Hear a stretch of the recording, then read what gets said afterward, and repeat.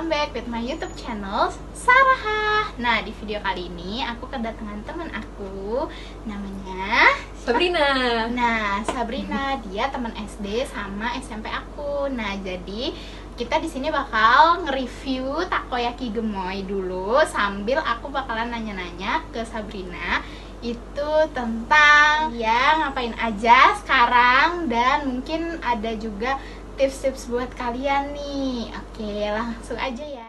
Oke, jadi sekarang aku bakalan nanya nih ke Sabrina.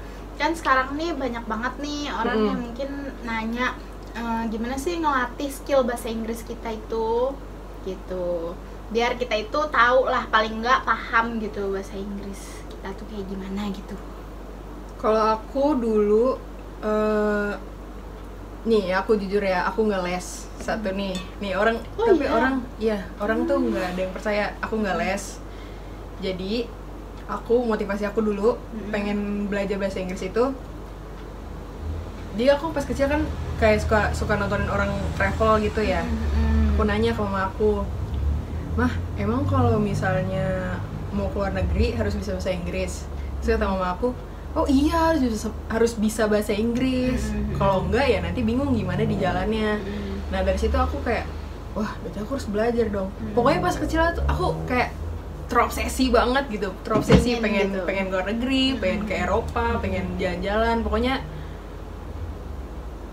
mimpi aku pas kecil tuh itu gitu Hmm. terus pas gede latihan latihan latihan ya udah deh tapi aku nggak nggak pernah itu motivasi itu motivasi aku ya yang pertama Hmm. nah tapi aku nggak pernah les dan aku kalau nih jujur aja nih emang aku Aha. bandel banget sih anaknya aku kalau ditawarin les pun kayak males gitu loh nggak tahu kenapa kayak males gitu kayak eh, istilahnya ya udah kayak contoh waktu dulu kan sekolah gitu kan Mm-mm. pasti juga jadwalnya juga kan banyak Mm-mm. ditambah lagi les gitu Mm-mm. kan jadi makin full lah gitu jadwalnya ya oke nah habis itu jadi aku latihannya itu dulu nggak tahu kenapa ya dulu dulu latihannya tuh nggak tahu kena aku juga nggak tahu kenapa bisa bisa tiba-tiba jadi semangat banget Mm. dulu aku latihannya itu pakai nonton film tapi aku belum belum belum aku belum tahu kalau misalnya itu juga ngelatih aku jadi kayak kayak nggak sadar gitu loh Ah. jadi kayak bisa gitu Hmm. jadi kayak aku tuh aku nonton dulu aku nonton judulnya Strawberry Shortcake Sarah tahu nggak? oh iya iya. Heeh, tahu tahu. Nah itu aku nonton itu itu favorit aku banget. Itu favorit aku banget. Pas kecil aku suka banget nonton itu. Hmm. bahkan pas dulu tuh kan aku kan dulu McD itu pernah ngeluarin merchandise ya kan? Hmm. merchandise Hmm. strawberry shortcake nah sama aku pernah diajak pokoknya ditraktir makan. Nah merchandise itu. Makanya aku seneng banget waktu ditraktir makan. Karena dapat gantungan kunci itu Oh gitu. Jadi uh, dari film gitu ya. Mm-mm. Mungkin kayak kita dari kecil tuh udah suka model film, nonton film-film kayak gitu gitu Mm-mm. kan. Kayak kartun kan Mm-mm. banyak banget juga kan uh, yang mungkin anak kecil suka kartun. Nah, tapi ini kamu yang kamu tonton itu kan biasanya kita uh, tahu ya translate-nya itu kita mau bahasa Inggris atau bahasa Mm-mm. Indonesia. Kalau kamu tuh tipikal nonton yang cuman dengerin bahasa Inggrisnya aja tapi translate-nya Indo atau gimana? Aku nontonnya pakai translate biasa kayak Mm. orang nonton biasa Oh, jadi mm. aku nonton nih aku punya cerita tulis lagi jadi Mm. kan aku terobsesi banget pas kecil kan Mm-mm. jadi pas SD kelas 1 kan aku belum belum pindah nih Hmm. masih swasta belum ketemu sama Sarah kalau Hmm. Sarah kan di negeri sama Hmm. kayak aku jadi aku waktu dulu di swasta kan perkenalan diri Mm-mm. aku pede banget aku naik ke naik ke kan orang disuruh naik ke ini kan kalau misalnya di kelas kan ada kayak kayak panggungnya gitu tuh Oh iya iya. kayak ada apa sih Heeh. yang Iya baloknya itu pokoknya ya buat kayak kita. ya kayak inilah. ada tangganya gitu kan terus aku naik Mm-mm. Hi guys, my name is Sabrina. Oh. Iya, aku langsung Tapi kayak di gitu. situ ada orang-orang nggak? Ya maksudnya di sekitar kamu gitu? Enggak. Kamu sendiri aja di ruang, di naik di podium itu kan kayak podium Iya, gitu kan? Sendiri, sendiri, sendiri. Terus itu guru aku nanya emangnya di rumah pakai bahasa Inggris Mm-mm. enggak Mm. sampai nanya mamah juga Oh. iya mama aku sampai kaget juga Mm-mm. Ya ampun ini anak Iya, gitu iya. Jadi ambisinya itu ada ya, ambisi kamu itu maksudnya iya. untuk mempelajari bahasa ada Inggris banget itu ada. iya dulu dulu tuh semangat banget Mm-mm. semangat banget kayak ah nggak tahu deh pokoknya terobsesi Mm-mm. banget Mm-mm. terus aku juga belajar kan dulu zaman zamannya Justin Bieber tuh zaman zaman 2007 dua- 2007 2008 zaman zamannya Justin Bieber Mm-mm. sama Taylor Swift ya kan? Taylor Swift juga masih baru-baru banget tuh baru-baru terkenal. Aku suka nontonin tuh dulu. Wah dulu ngefans banget sama Justin Bieber. Jujur dulu ngefans banget sama Justin Bieber. Terus eh, Udah. Tapi masih ngefans sama Tapi abis itu nggak tahu kenapa nggak nggak ngefans nggak ngefans lagi. Mungkin karena mungkin dulu dia dramanya banyak kali ya. Mm-mm. Kayak terlalu banyak drama. Heeh. terus juga ya pokoknya gitu deh ada drama dramanya akhirnya. Terus aku juga ngefans sama eh, Grayson Chen aku ngefans banget sama Grayson Chen pas udah ngefans udah udah udah lama. Nah jadi aku tuh dulu aku juga nggak ngerti kalau misalnya orang kayak orang boleh ngomong tuh aku nggak ngerti Hmm. tapi aku dulu suka nontonin Justin Bieber kayak Justin Bieber misalnya behind the scenes-nya aku suka Hmm. nontonin terus lucunya tuh kan karena kan yang pakai komputer itu kan bukan cuma aku ya kan Mm. kakak juga jadi aku main komputer tuh ada kakak di situ Mm. kakakku tuh suka ngeledek Mm. Eh emangnya lo ngerti gitu Iya iya iya biasa. tapi kayak- Biasanya emang orang sekitar kita tuh kalau kita mau Heeh. itu kadang yang bikin kita nggak berani Heeh. untuk speak gitu tapi aku sih? kan aku pas kecil sengah banget kan Ah, ah, pas kecil aku kayak pede banget pokoknya aku tuh pas kecil pede banget deh Hmm. pede dulu deh pokoknya Iya, pede dulu. pede dulu pede banget Mm-mm. pas eh, ditanya kayak gitu aku malah bilang gini ngerti lah ah, gitu Iya. langsung langsung tengel gitu padahal mah nggak ngerti nggak ngerti pas kecil dia ngomong Jadi apa kita ngerti jawab aja lah dulu ya. iya gitu. jawab aja dulu fake it till you make it asik Hmm, asik. Oke oke. terus juga aku belajar dari lirik Hmm. sama buku tapi kalau misalnya paling bagus menurut aku ya menurut aku paling bagus itu belajar dari buku novel karena buku novel itu banyak banget kata-kata yang susah kata-kata yang Hmm. ribet jadi aku tahu tahu belajar gitu tuh dari novel Hmm. Dari novel. Jadi dulu aku tuh suka baca Diary of Wimpy Kid. Hmm. pasti ada yang pernah dengar deh Diary of Wimpy Kid. Dulu aku pernah punya bukunya satu. Hmm. aku kayak Ih, ini apa? Aku bener aku juga bahasa Inggrisnya masih berantakan. Iya.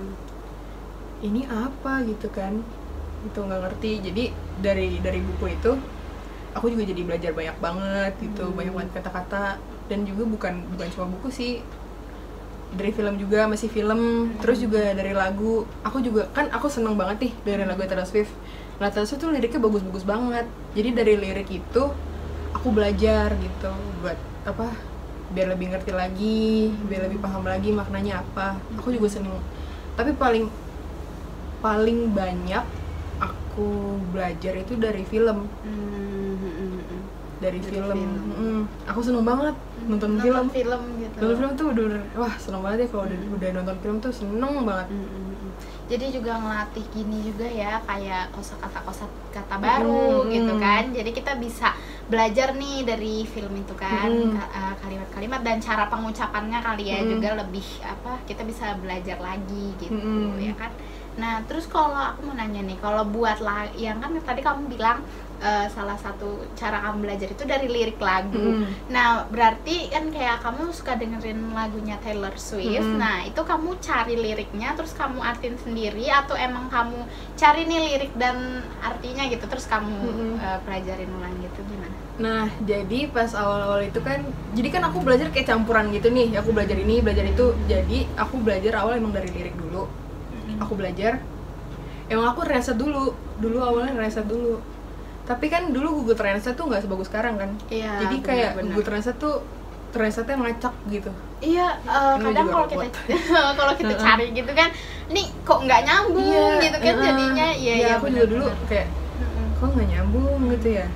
Akhirnya aku ngertiin sendiri dan akhirnya aku bisa Iya. jadi ngerti gitu. Mm-mm. Karena aku penasaran juga sebenarnya lagu ini tuh ngapain sih? Mm-mm. Lagu ini tuh apa gitu maknanya. benar-benar. Kenapa dia nulis lagu itu gitu. Mm-mm. Dan aku dulu nih aku tuh dulu ngefans sama Taylor Swift gara-gara lagunya dia yang Love Story oh iya iya iya itu iya, itu iya. itu baru banget di TV Mm.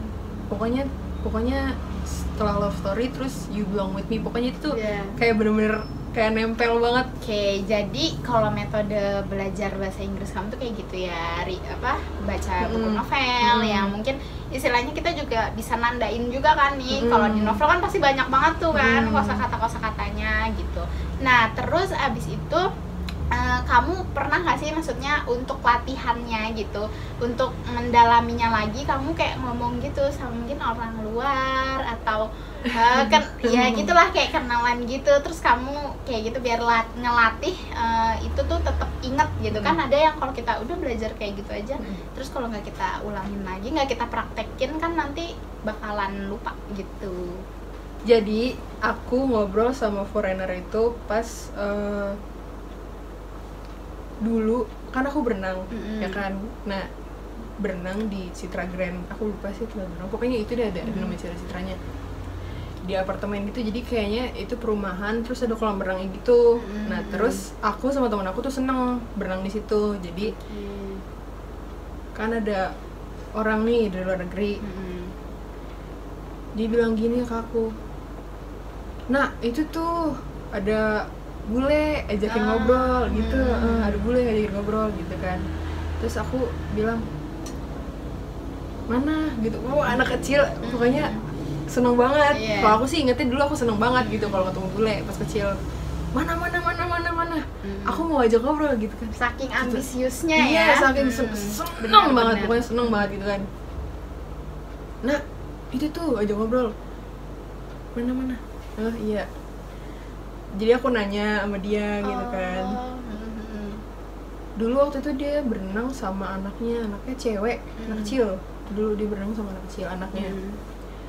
terus eh temen aku nanya nah coba tanyain dia punya anjing apa enggak gitu aku gabut banget tuh Oh. pertanyaannya Mm. terus dia bilang enggak dia nggak punya anjing pokoknya ya gitu-gitu aja cuma aku kayak antusias aja gitu orang wah baru banget gitu kan Mm-mm.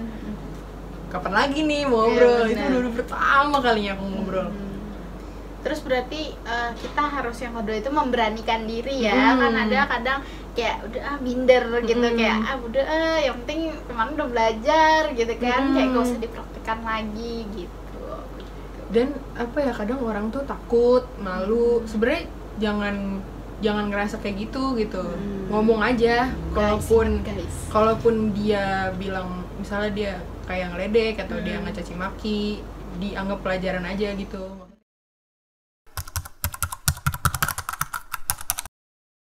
oh jadi mesti ini ini mesti dibenerin ini mesti dibenerin gitu Hmm. jadi bukan sesuatu yang aduh malu nih nggak deh nggak ngobrol lagi jangan dia juga nggak akan ingat Iya, iya, bener bener bener. Jangan terlalu diambil ininya gitu ya, Hmm. kayak Ih, udah ah, kapok gitu, Mm-mm. nggak mau lagi gitu. Oke, jadi kayak gitu guys. terus aku punya temen sampai sekarang aku masih temenan sama dia Oke. aku punya temen di Malaysia Mm-mm. namanya Fiang Mm-mm.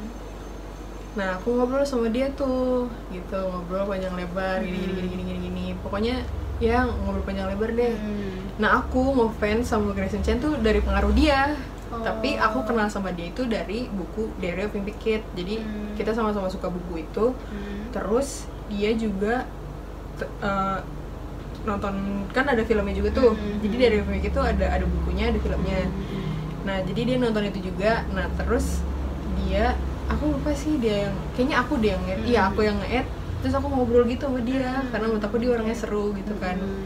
Sekarang dia masih masih temenan sama aku Oh, jadi sampai sekarang masih eh, hubungannya masih baik lah ya Hmm, gitu. alhamdulillah Tapi biasanya kan itu kan kamu temenan sama orang Malaysia ya. Biasanya kamu eh, apa berbahasa cara ngomong kamu sama dia itu di mix atau kamu ngomong bahasa Inggris aja gitu sama dia. aku ngomong bahasa Inggris aja jadi Oh. bahasa Inggris aku juga masih amburadul pas itu jadi kayak aku kayak masih nggak ngerti penggunaan to be aku Ah. masih nggak paham terus Mhm. aku juga kalau verb itu kan ada yang ditambahin s sama ada yang Iya. enggak nah Hmm. aku kayak udah ngasal aja gitu makanya Oh. jadi jadi lucu nih kan aku ngo- ngobrol nih ngobrol udah lama Hmm. abis itu pernah tuh lost kontak ya kan Mhm. pas kontak habis itu nah pas sekarang ketemu lagi udah uh, udah beda banget deh pokoknya dia udah beda banget nah abis itu aku ngeliat aku ngeliat dulu kan Hmm. pas cara cara nulisnya cara pokoknya pokoknya masih berantakan banget Mm-mm. emang kalau kalau dipikir-pikir mah agak cringe juga cuma ya ya udah kan yang namanya kita kan belajar ya Mm. pasti bikin salah yang penting kita nggak bikin salah itu dua kali gitu Nah, bener banget tuh yang tadi dibilang sama Sabrina ya. Itu juga misalnya kayak kita ngelakuin kesalahan ya. Intinya kan kita udah belajar Hmm. dari kesalahan kita itu kan. Hmm. Tapi kita jadi tahu oh sa- saya salah saya di mana. Jadi saya harus bisa upgrade lagi nih Hmm. kayak gitu kan. Oke, terus ada lagi eh, mungkin yang selain itu yang kamu praktekkan gitu. jadi sampai sekarang aku kan aku dari dari kecil punya mimpi buat jalan-jalan kan Hmm. sampai sekarang pun aku masih pengen jalan-jalan nih jadi aku sampai sekarang aku nyari temen buat bisa aku ajak jalan-jalan nanti jadi aku nyarinya tuh aku aku emang pakai beberapa aplikasi Hmm.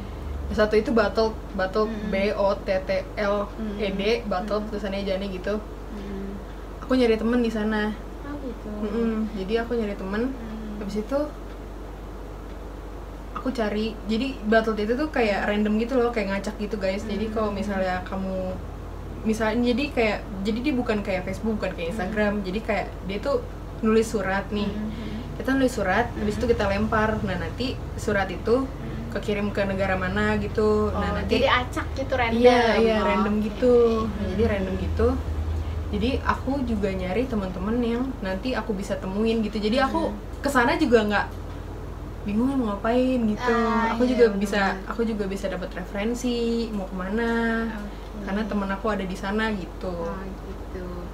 Oh, terus nih kan itu kan tadi aku belajar yang nama ini. Terus Hmm. kamu udah ini enggak sih kayak untuk mengupgrade eh, kemampuan bahasa Inggris kamu kamu udah ikutin belum kayak be- beberapa kompetensi eh, tentang bahasa Inggris contoh mungkin kayak apa ya kamu eh, masuk ke dalam English Club atau yang lain-lain pokoknya kayak gitu gitu. hmm, dulu pas SMP pernah ikut lomba Mm-mm. tapi emang lagi naas banget sih kayaknya Mm-mm. emang udah capek juga jadi aku pernah ikut lomba storytelling nih ini lucu banget ceritanya jadi aku kan peserta terakhir ya kan Mm. habis itu eh, ruangan ruangannya itu tuh udah nggak tutup gitu maksudnya Hmm. udah udah kebuka orang-orang kan udah pada pergi gitu kan aku terakhir kan Mm.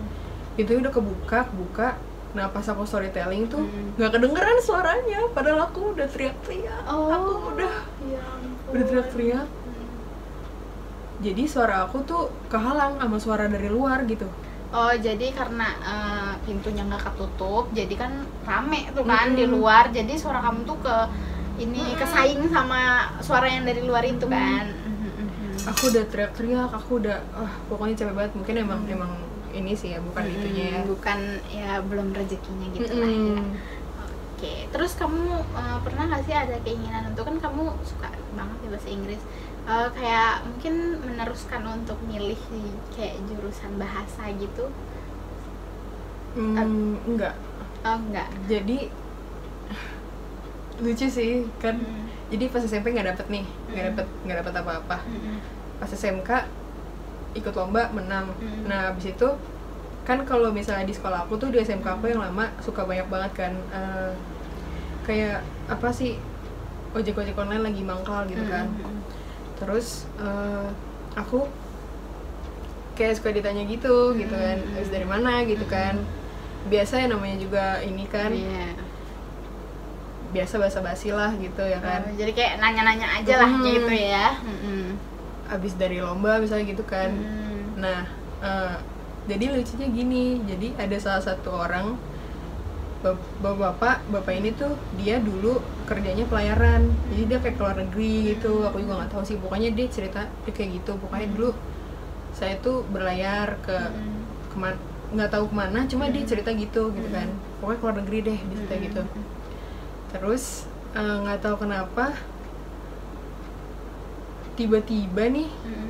nggak aku juga udah lupa sih Mm. eh, insidennya kenapa Mm, itu mm. kenapa udah lupa deh tiba-tiba dia ngetes aku oh ngetes bahasa dia, Inggris heeh, dia ngetes aku oke oke dia ngetes aku so you think you're good in English Hmm. try to spell your name.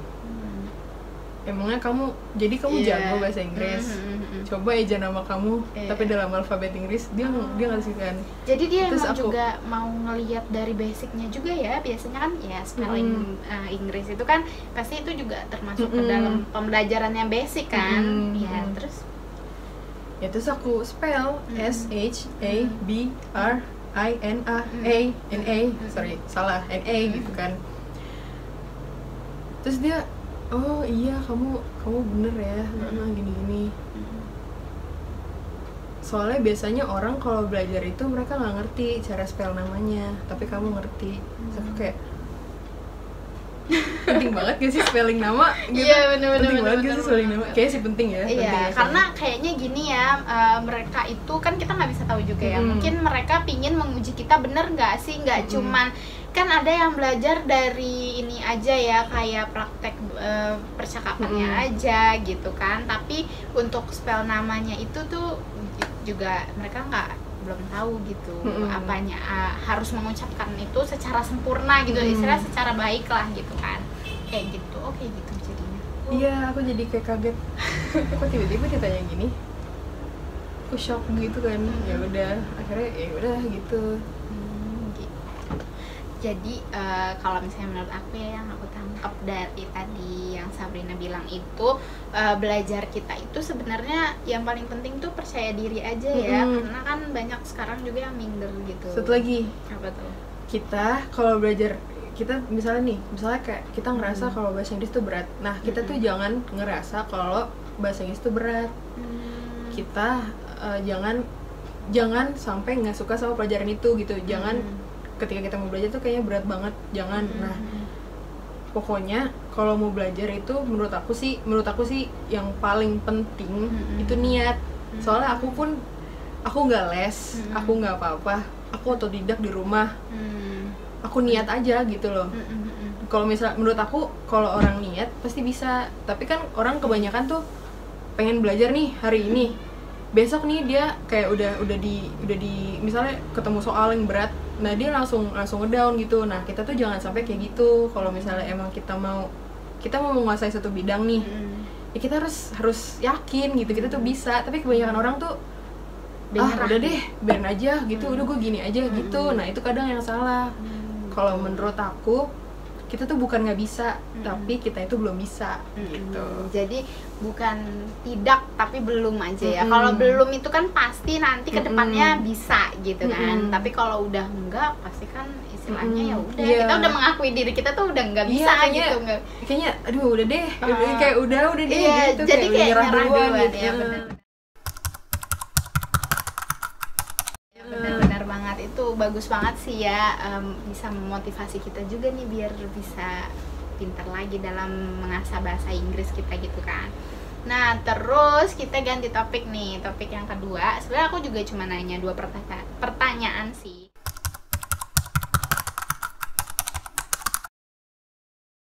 Topik yang kedua itu mungkin kamu bisa nggak sih ceritain. Kan mungkin di sana itu ada yang punya hobi menulis atau apa. Menurut kamu apa sih keuntungan dari kalau kita itu suka hobi dari menulis itu? Gimana? keuntungannya kalau sekarang banyak. Kalau menurut aku ya menurut aku tuh udah banyak. Karena Hmm. satu platform nulis itu udah udah di mana-mana. Kayak Hmm. Kuiku, Wattpad, Novelme, Novel, Good Novel, Joylada itu tuh udah Hmm. banyak banget sama KBM itu udah banyak banget nov, eh, apa platform-platform buat kita self publishing Mm-mm. gitu jadi selain kita nyalurin bakat Mm-mm. jadi buku kita tuh nggak cuma jadi draft aja kita bisa juga ngirimin apa naskah itu Mm-mm. biar dapat kontrak gitu Oh, gitu. Jadi eh, menurut kamu kalau dengan menulis itu ya kan ada orang yang punya tingkat emo- emosional Mm. itu kayak berbeda-beda ya. Ada Mm-mm. yang dia mengungkapkan, ada yang lebih ke ya udah nih eh, dipendam aja gitu. Kalau menurut kamu bener nggak sih dengan menulis itu kita bisa menyalurkan emosi kita, mungkin cerita pengalaman hidup kita di situ. Jadi kita juga lebih eh, tenang gitu loh. Jadi kita lebih refresh aja di Mm, diri lebih kita lega. gitu, lebih lega ya bener. Aku nulis sebenarnya aku nulis alasannya itu satu Hmm. satu itu kedua aku juga nyari nyari cuan sambil nyambi gitu Ah, maksudnya iya, jadi iya, aku iya. punya pegangan lain lah gitu Mm-mm. misalnya nah kalau misalnya nulis buat ngekspresin emosi iya Mm. karena aku kan tipik tipikal orang yang susah gitu Mm-mm. buat kayak ngekspresin emosi jadi Mm-mm. aku tuh biasanya ekspresinya dengan nulis nah Hmm. Atau misalnya aku punya punya ucapan yang aku nggak Mm-mm. bisa sampaikan ke orang lain aku biasanya nulis gitu jadi Mm. lebih enak ditulis ketimbang diungkapin langsung gitu Oh gitu, jadi lebih enak aja gitu ya kalau Mm. kita itu uh, nulis gitu. Terus uh, kalau menurut kamu kan kita nih kalau nulis itu harus nggak sih kita harus mempelajari secara detail? Misalnya kita mau nulis-nulis aja contoh, kita Mm. mau belajar nih gimana sih cara bikin novel atau mau bikin komik atau apa mungkin menurut kamu itu kita harus belajar secara detail lagi nggak sih untuk tahu mungkin bahasa yang baik, bahasa yang benar, ya- yang sesuai lah sama karakter-karakter. Contoh di kata pengantar, mungkin Mm-mm. kita harus tahu itu Mm-mm. ya istilah harus pelajarin lah bagian-bagian dari struktur dari novel ataupun eh, yang punya kita tulis nanti gitu.